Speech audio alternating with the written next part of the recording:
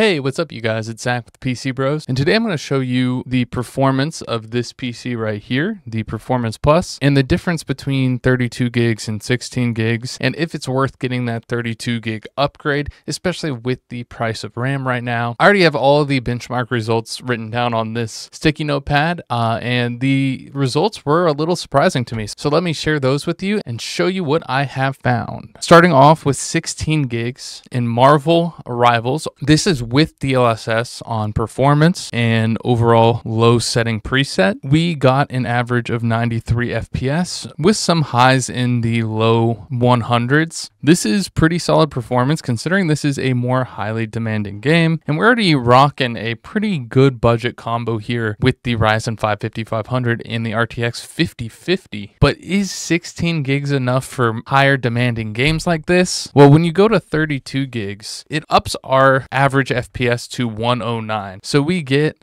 more than a 10 FPS increase on average, and this is still low settings, the exact same. But the whole question of this video is that extra increase in price right now with RAM.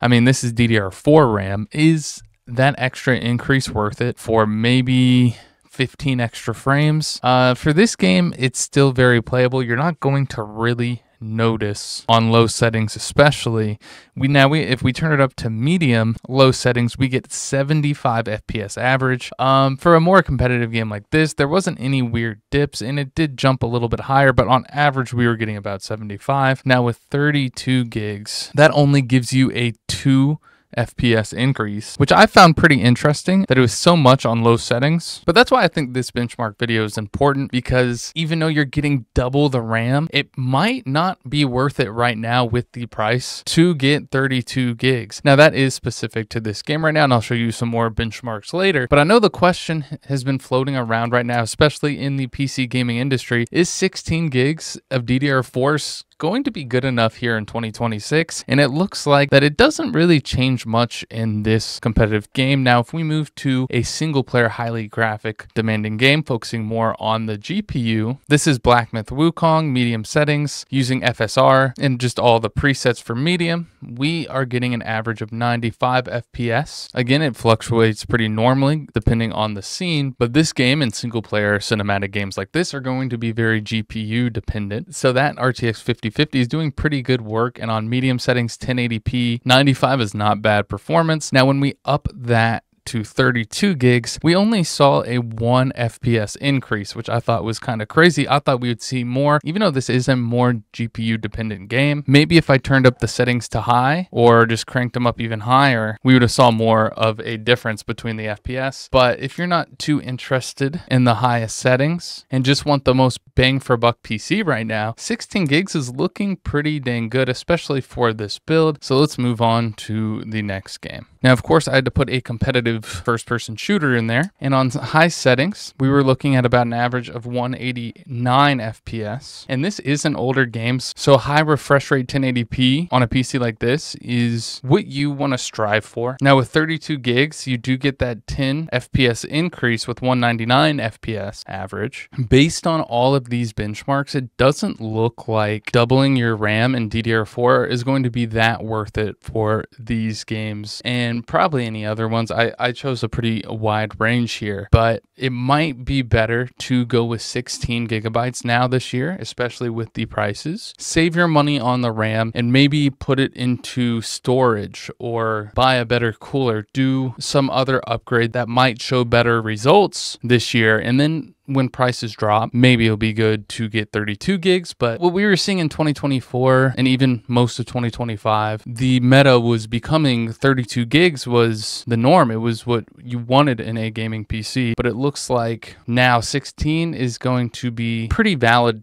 depending on the games that you're going to be playing. And luckily, this is a pretty balanced build, so there's not much of a bottleneck. And although you did see a FPS increase for the most part, and I'm sure if you tweak the settings a little bit more, you'd see even more of an increase, I don't think that 15 to 20 FPS is going to be quite worth it now. But let me know in the comments down below. I did also play Fortnite, but only on the 32 gig benchmarks, and it was doing just fine on medium preset here, and I honestly think it would in 16 gigs as well. The Performance Plus is, is our right at mid-range PC uh, staple build right now, and it offers some modern parts. It's a slate clean design, comes with 512 gigs and 16 gigs like you saw in the benchmark. With the 32, we have a $125 increase, which is more than it's ever been for RAM. And unfortunately, that just is what it is for today's market. Hopefully, these benchmarks in this video can help you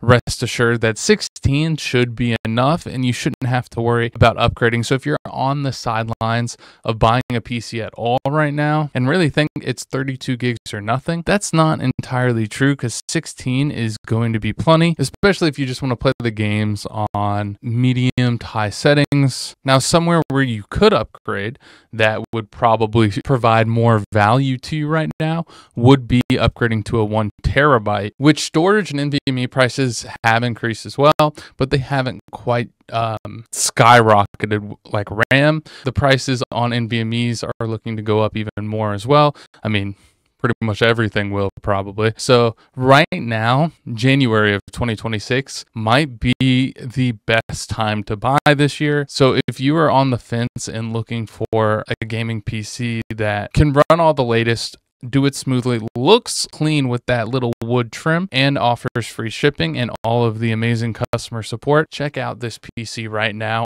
on PCBros.tech. Um, the link will be in the description if you're interested. It might be time to make a decision.